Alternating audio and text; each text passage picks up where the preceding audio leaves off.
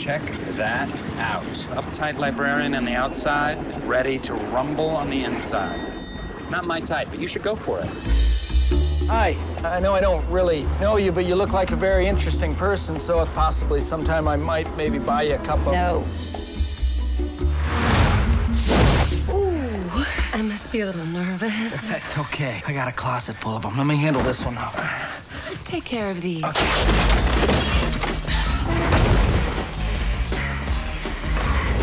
Thank you. Different color roses mean different things. Red ones mean passion or love. But don't worry, I'm not saying that I think you're telling me that you love me. But maybe someday. Or never. No pressure. Dude, what's wrong? My first impression of Jenny was accurate. What is? She seems a little needy, jealous, controlling. The trifecta. Perfect. Sounds like a nutcase. Okay, listen to me. Take her hand in your hand. You say, sweetheart, I think we just need to take a little time off from the relationship to re Re-examine where this is going. Are you breaking up with me? No! You are breaking up with me. You are so gonna regret this. Don't worry about that. They always say that.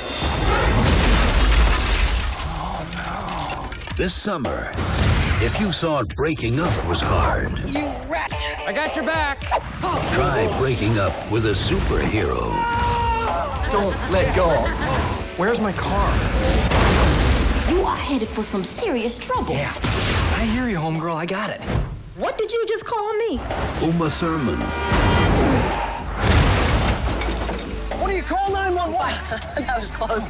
Luke Wilson,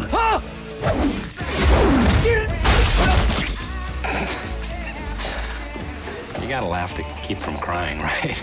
My super ex-girlfriend. Deep down, I had a feeling that you'd realize your mistake and come back to me.